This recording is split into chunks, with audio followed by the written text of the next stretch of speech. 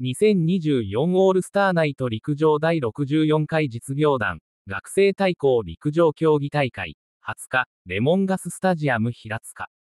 画像、パリへの切符をつかんだ福部真子選手レース後は寺田明日香選手や田中由美選手と健闘と称え合う。女子グランプリ100メートルハードルでは、パリ五輪代表の福部真子選手、日本建設工業が追い風1.2メートルで12秒69の回走を見せ、大会制覇。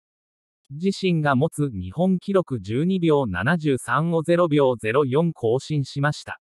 スタートから飛び出し、スピードに乗ったハードリングで他の選手を突き放し、トップでフィニッシュ。ゴールして3度見食らいしました。と12秒70で止まったタイマーを横目で何度も確認すると、最終的に12秒69と成績記録が表示。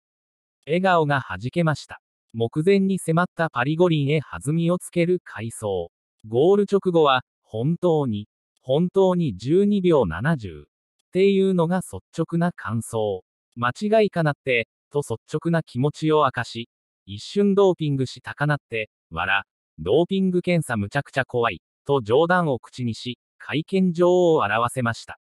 昨季は日本選手権決勝で4位となり、世界選手権の代表から落選。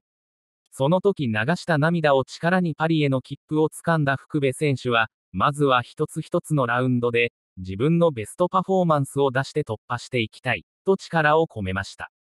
パリ五輪の陸上競技は8月1日から11日まで開催されます。